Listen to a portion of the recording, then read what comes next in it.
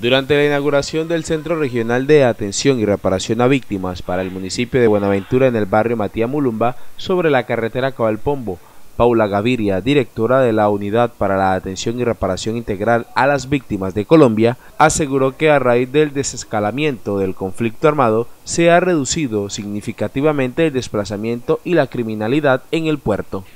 tenido eh, el desescalamiento del conflicto ha sido muy importante,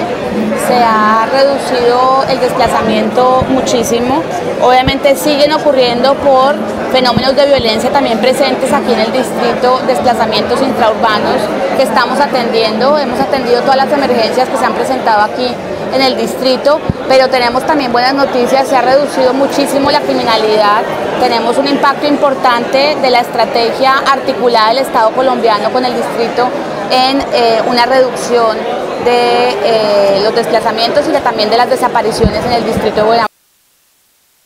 En el Centro Regional de Atención y Reparación a Víctimas para Buenaventura se escribirán información acerca de sus derechos y serán remitidas para acceder de manera efectiva e inmediata a las medidas de asistencia y reparación consagradas en la presente ley.